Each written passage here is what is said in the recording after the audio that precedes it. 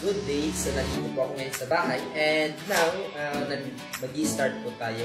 So, maghihilamos po ako gamit yung ating ating bar na whitening soap. Okay? So, Isox Technology.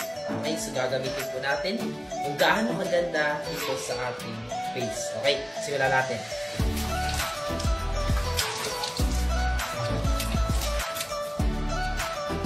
So, ganito lang gagawin nyo.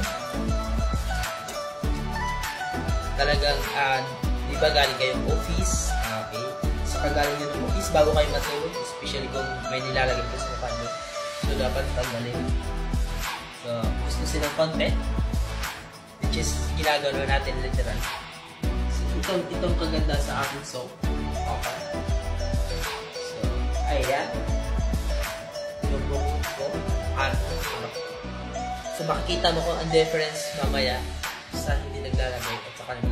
Ang gandahan kasi nito organic, okay, natural. The product is not natural. So, magiging Alden Richard na talaga ako nito. Which is napakaganda at saka maganda, malamig siya sa face at saka sobrang uh, bango. Okay, magandang maganda talaga. So, kaya sa mga medyo walang itsura katulad ko, so, ang sikreto ko lang is whitening soap. Isa lang sikreto ko, whitening soap. so, ito, gamitin natin. Sobrang ganda. Okay lang kahit mag-stay siya sa mukha and hindi naman siya harmful, okay? So, talagang organic na organic. Sobrang oh, pumuputi ka at the same time, uh, wow! Grabe, sobrang ganda. So, ayan. Sobrang ganda. Sobrang gwapo. Maganda, sobrang gwapo. Ayan, ah, okay. So, makikita mo. So, dito tayo sa may munting office ko.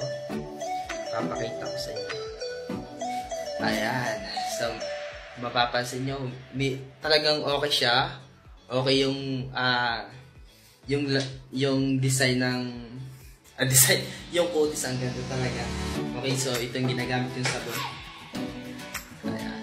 Ito lalagyan niya, sobrang ganda. Talagang usable sa sobrang ganda.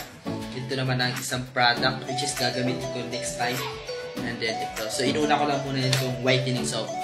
Okay, sa lahat ng mga brand partners na hindi pa nakasubok at saka sa mga customer namin na uh, gustong subukan, so i-try nyo po kasi sobrang ganda talaga at the same time, uh, talagang malamig at saka gwapong gwapa.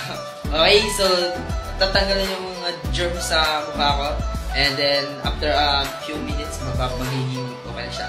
Okay? So, sobrang ganda talaga. And gamitin nyo ang uh,